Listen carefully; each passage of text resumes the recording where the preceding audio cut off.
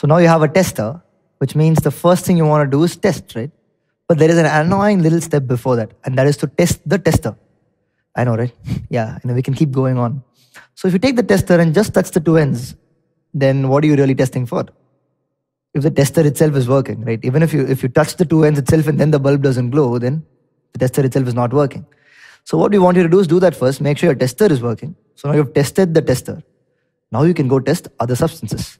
I know you're going to kill me for doing this, but yes. So now that you've done this, we want you to test, say, a first material that you want to take. Now, in this case, all of our materials are going to be liquids, right? We want to see if they conduct electricity. Is that take two of these ends and dip it into lemon juice and see if the bulb is glowing. So we took the bulb tester instead of, say, the magnetic needle, just, just to make things simple. We could, take, we could take any of these.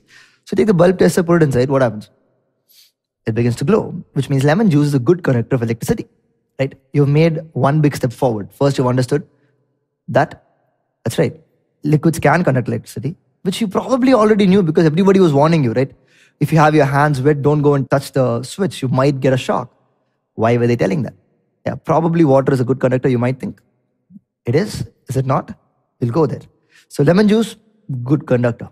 Now what are you going to do? Play with this even more. But you might not have noticed one thing though. The bulb is glowing so faintly, right? It's not really like some proper conduction of electricity is happening. It's very poor.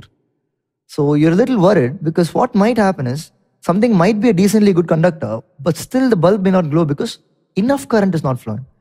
So the bulb itself requires a lot of current, then allowing it to pass through some liquid like this might not give us a good idea. So what could we do? Make it so that the bulb that we use requires very, very little current. Now, where do we find such bulbs? They're called LEDs, light emitting diodes. Most of your traffic signals, a lot of games, even, even decorative things in our houses use these little, little lights called LEDs.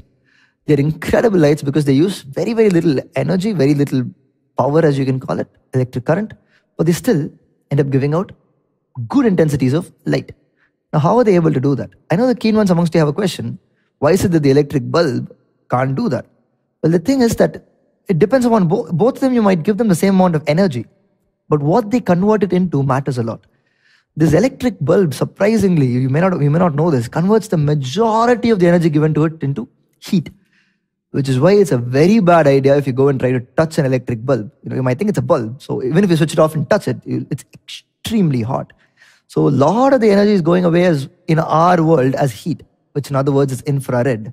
You'll know a lot, know a lot about this later on, but I'm just giving you these terms so that you will be very familiar with them when you actually come across them.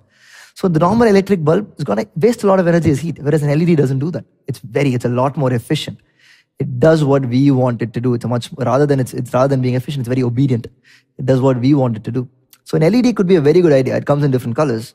So you use one of those, then even for a small amount of current, it will glow immediately. So an LED will make a much better tester than a normal electric bulb would. And another recommendation that we have for you is that when you do test the tester, don't test the tester for a really long time because when you test the tester for a really long time, you're draining the battery really quickly because a lot of current is flowing. You're short circuiting the battery.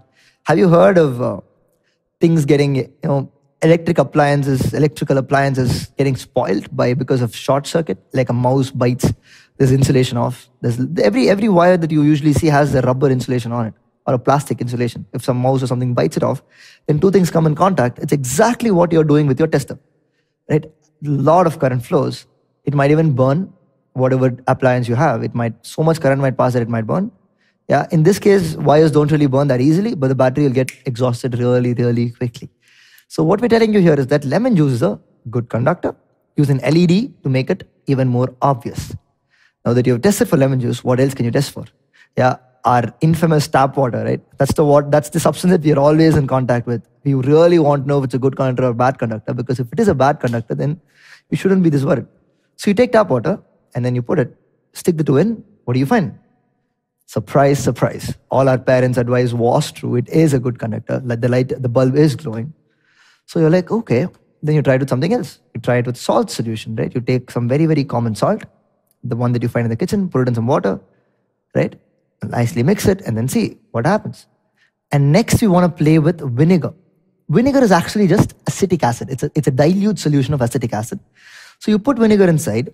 I'm emphasizing on the word acid so that you understand which substances are kind of conducting electric current.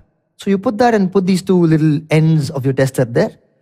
the bulb glows. So acetic acid or vinegar conducts electricity. What have you seen before? Lemon juice conducts electricity.